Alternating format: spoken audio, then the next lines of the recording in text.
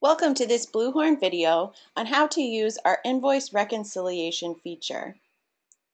For the sake of this demonstration, we'll be using fictional data in our demo account.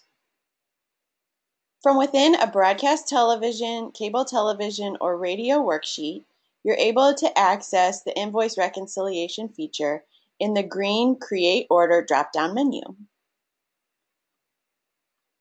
Simply drop down and scroll down to Upload Invoices. Click and you'll be redirected to the Upload Invoice portal.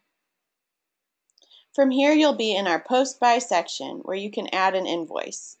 Here, you may drag and drop files or simply click on this area and access your downloads or your files. This is the same as any other attachment.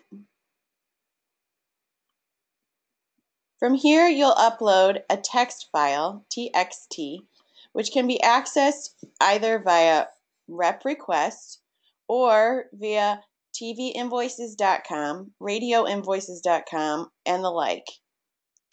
You can add the invoice and you'll see it upload with a green check mark to confirm. To remove the file, simply click the red box.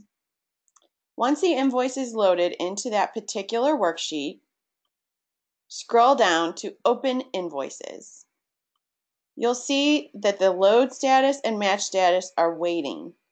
The blue dot will be filled in for load.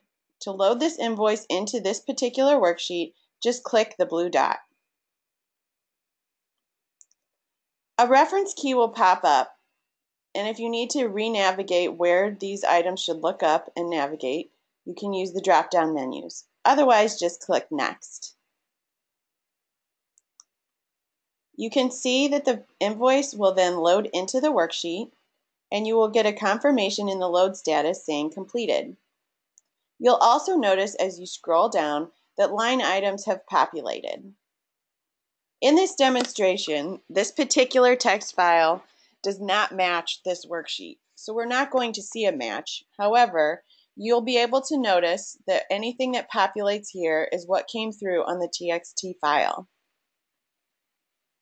From here, when you're ready to do a match in the invo of the invoice to your worksheet, you can click the blue dot under the match column. Simply click and the system will attempt to match up the line items that have loaded from the invoice with your worksheet line items. Once this is complete, you'll be able to note anything that matched or ran from these line items that populated. If they matched, you'll see a check mark in the matched column. Once you're done, if you want to see a quick reference, you can scroll down in this green navigation menu to Post Buy Report. Our Post Buy Report looks very similar to your normal order and is designed to be easy to read. You'll notice nothing matches with this particular worksheet because it was a test. However, you'll see the red items below your order if there's not a match. It will appear in green if the station or if the spots did match for that particular week and day part.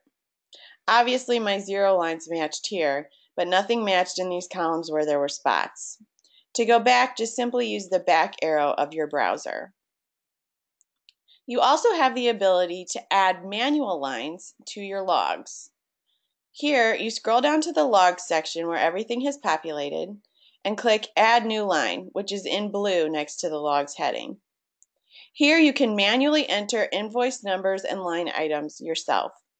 Enter an invoice number, select a vendor, which needs to be one of the vendors on your particular invoice.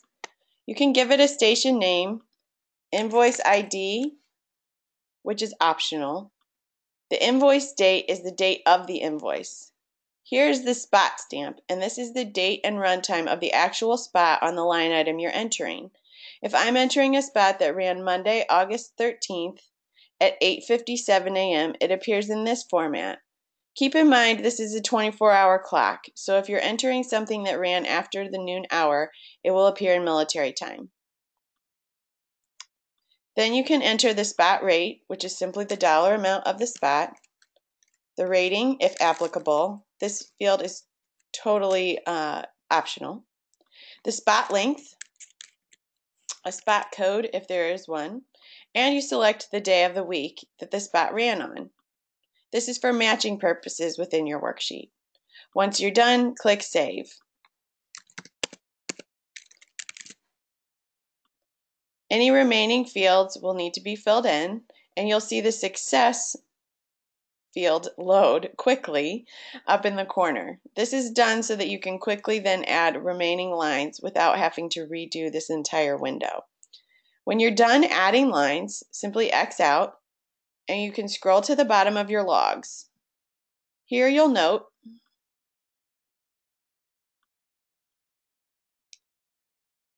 that the invoice line item that you entered has been added to the very bottom. You can run your match again if you so choose and then rerun your report. For questions about our invoice reconciliation process, please email us at support at bluhorn.com. If you're not sure if your subscription level allows for invoice reconciliation, please reach out to us and inquire, and we can help you find a package that does. Thank you.